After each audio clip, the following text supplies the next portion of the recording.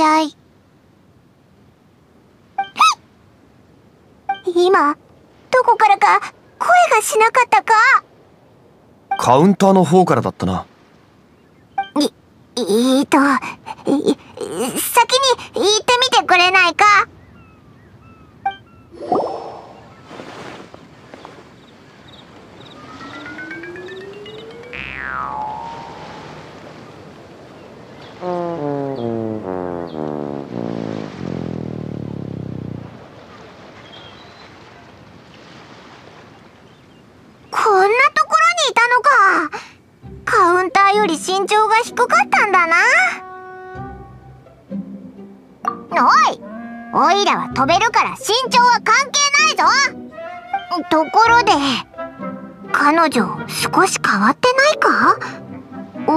に札があるし。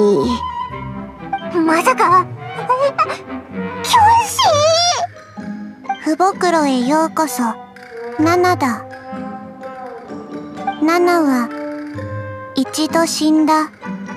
仙人に助けられた。だから、キョンシー。モンドだと、こんなのありえないよな。それで、お嬢さん。ここに衛星光はあるか？処方箋は、しょ、衛星光なら処方箋はいらないと思うが？病とは関係ないからな処方箋があれば、薬、用意できる。これは、ナナが自分に下した、直令。キョンシーを動かすには直令が必要だしかしなぜかこのお嬢さんは自分で自分に直令を下しているみたいだな処方箋はないが衛星光を用意してほしいいいよ。俺、急に協力的になったな。でも、ナナを手伝ってほしい。その方が公平。店員が客を手伝うのは不公平なことだったのか？構わん。こういう対等な関係も悪くない。リーゆえにおいて取引の真髄とは相手の立場に立って考えることだ。じゃあ、天候山に行って、奇襲機を使ってココナッツ羊を飼ってほしい。奇襲機彼女が言ったものに俺は聞き覚えがある。奇襲機は昔仙人が天候山の上に建てた土砲で機関術の産物の一つだ。場所は天候古城園の間にある。自動的に巨大な魔物を迎撃するため外からの脅威を防げるんだ。勝利は本当にリーユへのことに詳しいな。そうでもない。例えばそのココナッツ羊なるものは聞いたことがないココナッツ羊は伝説の反戦の獣。え？それだけ？うん。ココナッツ羊は伝説の反戦の獣。見た目はわからない。どこにいるかわからない。なんでいるかわからない。まあいいまずは奇襲機の周りを探そうもしかしたらそこに手がかりがあるかもしれないココナッツ羊。どんな生き物なんだろう。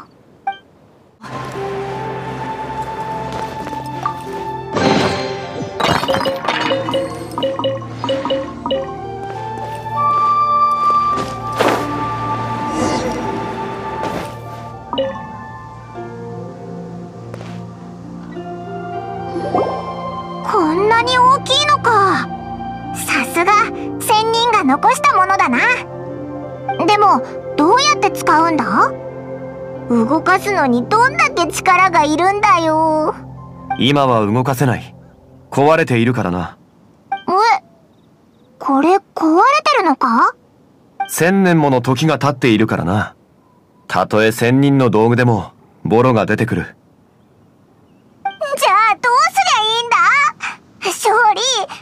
つもの上流階級の豆知識でなんとかしろよん俺を何だと？芝居と鳥の鑑賞以外何もできない金持ちの坊ちゃんじゃないぞ。そうだな。奇襲機が作られた当時傷などの修復をするため予備用の材料が用意されていたはずだ。俺の知識が正しければこの古城園の中に当時の備品室があるはずだ。そこに保管されている材料と奇襲機の原理を理解できれば修理も難しくないだろう。ってことは勝利はその原理を知ってるんだよな。少しはな。材料が十分に集まったら試してみよう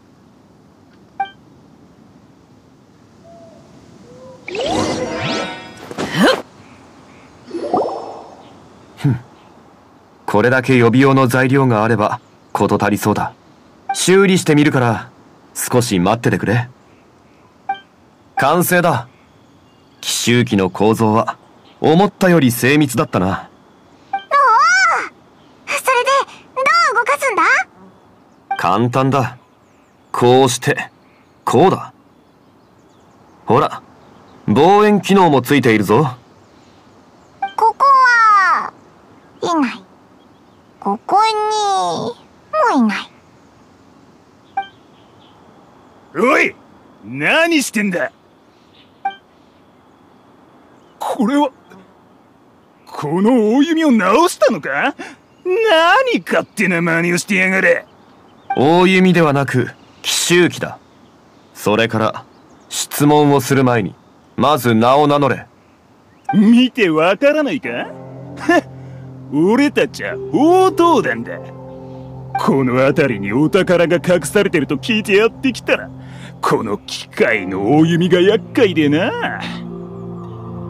この間も山に入ったら兄弟がこいつに串刺しされそうになる始末だ。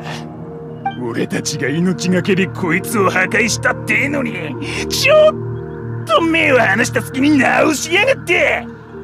お前ら許さねえ。痛い目に遭わせてやれ私 欲のために千人の知恵を汚すとは。お前たちには教訓が必要なようだ。相手を間違えたな。か救急に寄りするよ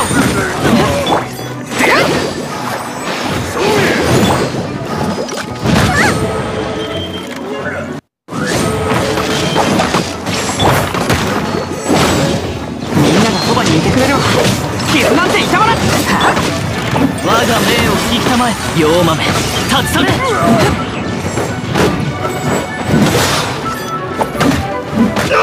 っ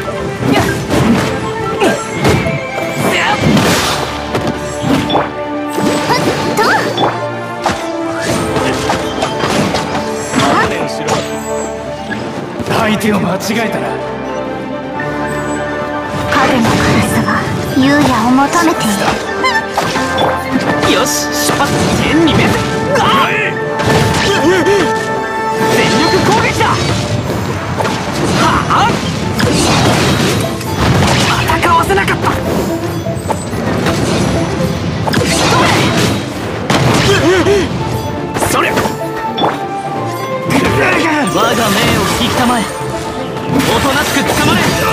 チャンスだミュージック。それ。答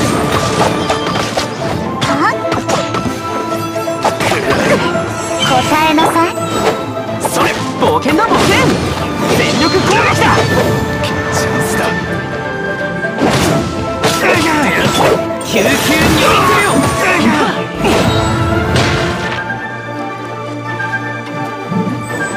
らえ。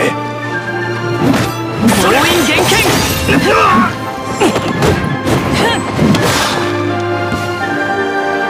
チャンスだ。救急に寄りつけよ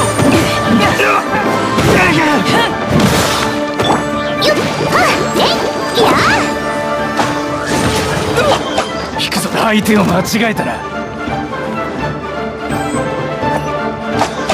また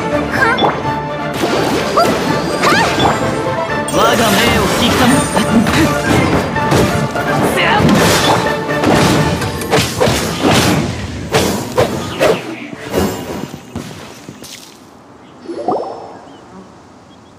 物分かりの悪い奴らだな。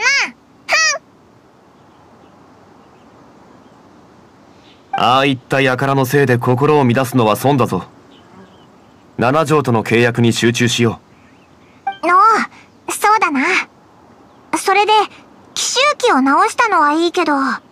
ひょう先ほど奇襲機を使って探してみたがこの付近にはよく見る野生動物の他に注意すべきものはいなさそうだ。反戦の獣なら千人の道具を用いれば探しやすいはずだが。どうしよう。もう修理したんだしそんなこと言うなよこのままここで考えていても拉致が開かない。ひとまず父母に戻りココナッツ羊が見つからなかったことを告げ相手そうだな。オイラたちだって力を尽くしたもんな。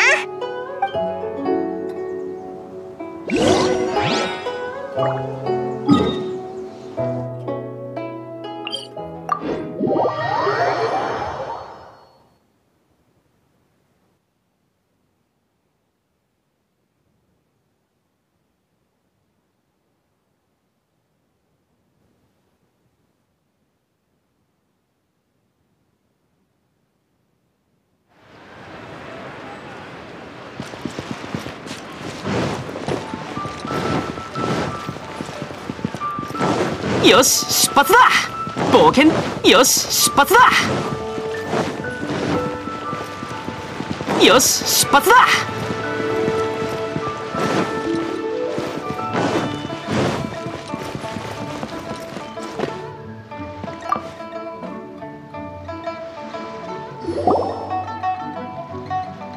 すまないが契約は完遂できなかった。ココナッツ羊という反戦の獣に心当たりがないんだ。あうがっかり。大丈夫だけどがっかり。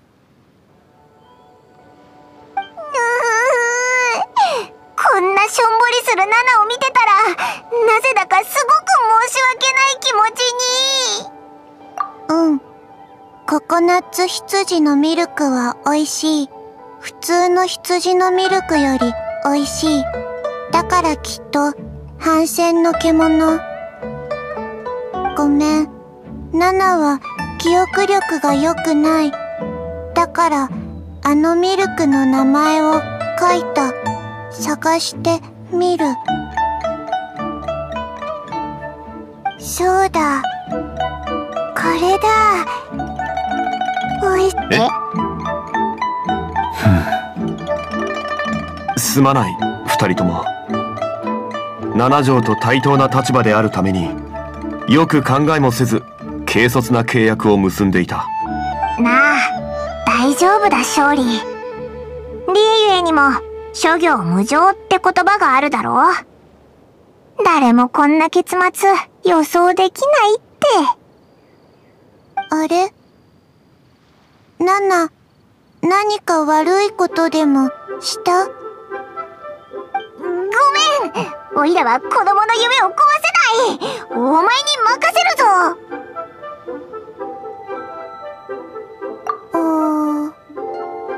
ナナが何やら考え出したぞ。有意義な人生の授業でしたね。ナナがお世話になりました。お前は？失礼しました。私はこの父母の店主白日です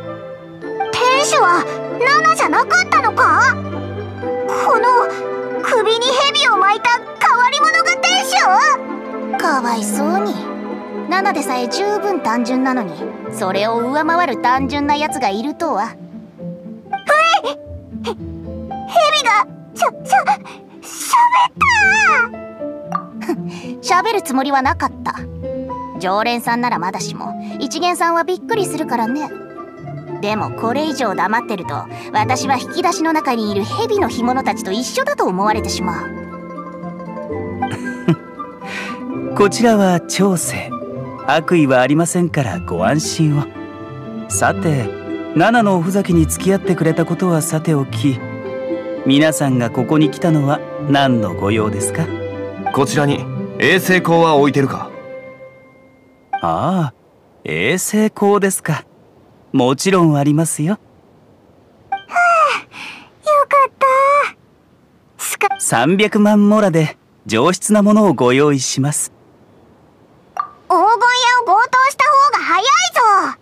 まあ、今は七星が黄金屋を使ってるから難しいと思うけど。300万。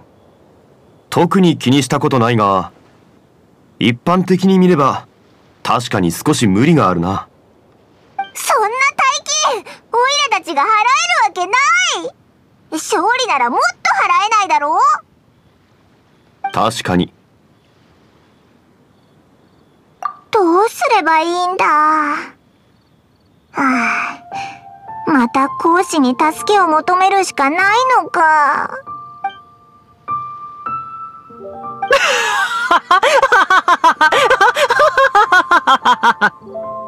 こ、こ、こ、ココナッツ羊。面白すぎる。君たち、そんなものに振り回されてたんだ。人の不幸を喜ぶなああ、涙が出るくらい笑わせてもらったよ。さて、君たちのおかげで笑えたし、この問題は俺が解決してあげよう。えー、っと、白術さんかな。俺はファデュイの執行官、講師だ。今後のためにこちらと協力関係を結んでおくのも悪くない話だと思うのだけど、どうかな。父母黒に必要であれば、ファデュイがココナッツミルクの仕入れ先をリサーチしておこう。あバデュイはそういうのが得意だと聞いたがこの父母黒がただのココナッツミルクで買収できると思ってるのか？ココナッツミルクココナッツミルク白先生ココナッツミルクわかりました、わかりました。では、講師殿、よろしくお願いしますね。この衛星光も特別価格で299万モラにしましょう。300万と299万じゃ、そんなに違わないだろふん。299万。特に気にしたことないが普通に考えて確かに300万より1万安くなった。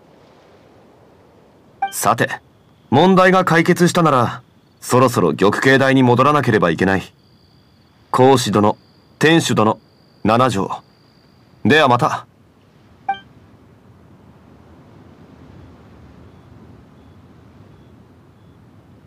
面白い奴らだ。こんなに笑ったのは久しぶりだ。それで、俺が来る前からここに潜伏していた君は何か聞けたかな？はい講師様。彼らは七星が黄金屋になるほどなるほど。行幸。それと七星ね。奴らが黄金屋に隠したいものなんて先祖の亡骸以外に何があるというんだ？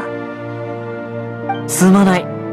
でも忠告はしただろ理ゆえには壁に耳ありということわざがあるとね。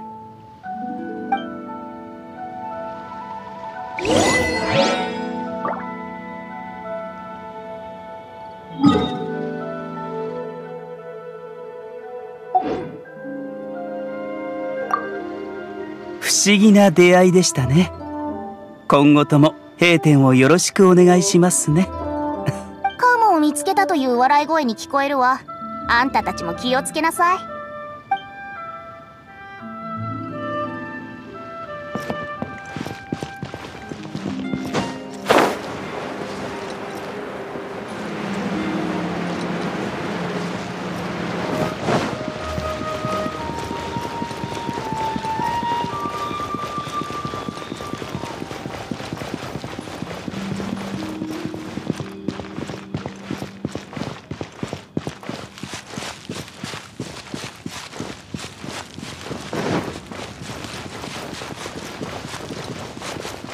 安全に気をつけて。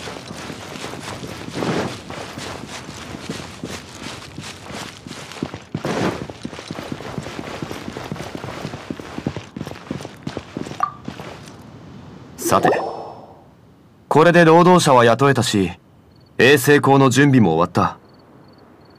きやっとだな。どうだ？旅人この眼神を送別するための旅の中で何か収穫はあったか？変わった？どうだろうな。旅の中の疑問はいつだって複雑だ。旅人が見聞きしてきたことは旅人自身がゆっくりと味わえ。そうだ。共に操船儀式を準備してくれた礼にお前に地層をおごってやろうん？ああ安心しろ。今回はちゃんとモラを持っていく。今夜お前を市場でも評判の港の老舗へ連れて行く。港の老舗？酒の店か？そうだ。埠頭付近の三倍酔いで待っているぞ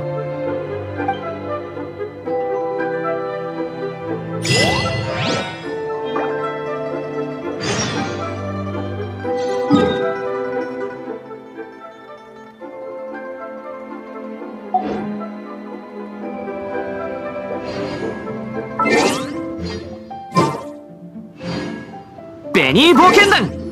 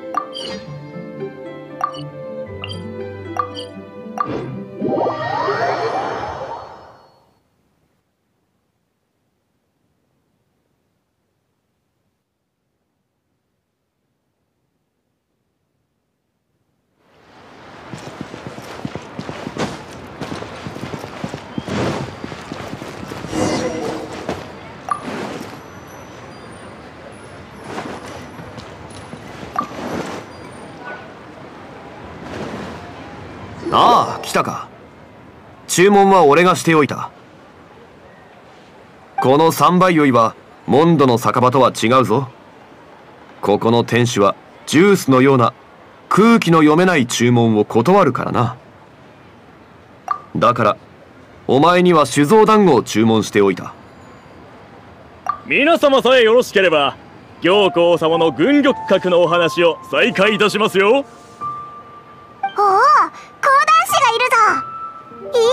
気の店だな。市場での評判を得るには美味しい酒の他にも環境が大事だ。しかしここで言う環境とテイバット観光ガイドに書かれるような酒場の環境は別物だ。皆様ご存知の通りこの港の上には雲上の宮殿演歌の暗宮があります。天へ届くかのごとし所業とはいかなものでしょう。ご覧ください。これこそが行幸様が築いた天へと通ずる産業でございます。晴れた日に宮殿から外を眺めれば絶景かなリーユエ港の景色の大半を一望できます。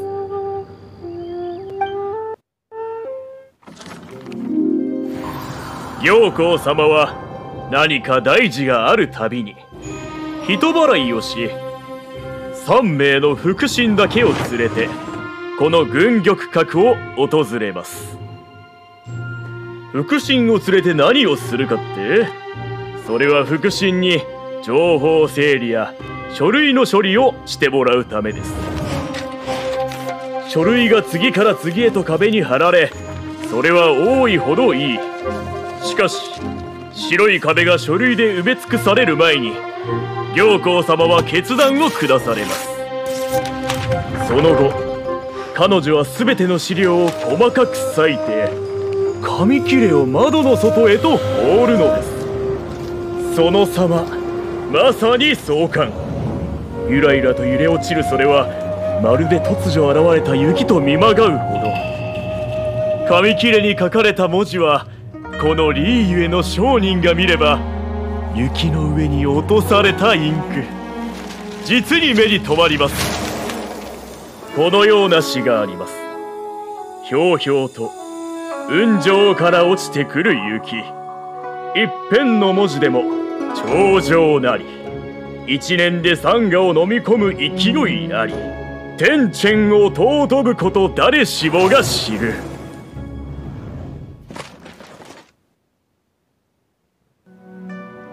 考えてみてください。紙切れとはいえ行幸様が策を練るために用いた考えにどれほどの価値がおありか。それが1枚や2枚少しでも多く手に入れば行幸様の指の隙間からこぼれ落ちる利益を同業者よりも享受できる。天主園行幸。最近この名前をよく耳にするよな。リーユエの人は彼女の話をするしファデュイは彼女を嫌うし先祖の亡骸を隠したのも彼女みたいだしゲーセン儀式でも一回見たような一体どんな人なんだろう。やっと見つけました。絶雲の間から帰ってきた者誰だ？待ってください私は洗顔軍でもあなたたちを捕まえに来たものでもありません。確かにリーユエ七世の使者ですが私は関羽月海亭の秘書です。あなたたちに会うためにここに来ました。正確に言いますと本職は七世全員の秘書ですが今回は一時的に行幸様の特使として参りました。のう噂をすれば行幸の使者が現れた。絶雲の間から帰ってきた者この場で礼儀が十分に行き届いていないことお許しください。しかし私が持ってきたこの手紙は行幸様が天主園として正式に出された招待状ですあなたを空中宮殿に招待いたします。招待状だって？そうです。行幸様はこう言いました。彼女を連れてきなさい。彼女に会うわ。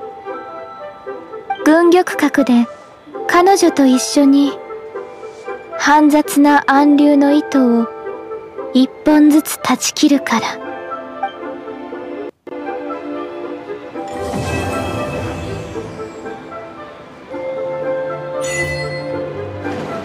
あの関羽っていう使者言うだけ言ってどっか行ったな。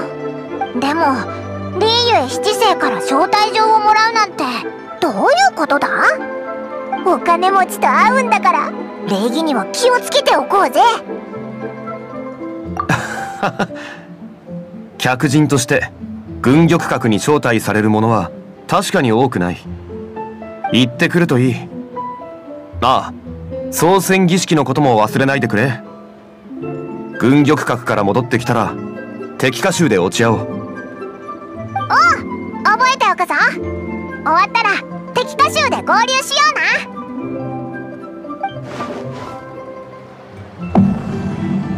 コウさんどうぞダメダメここは危険だよ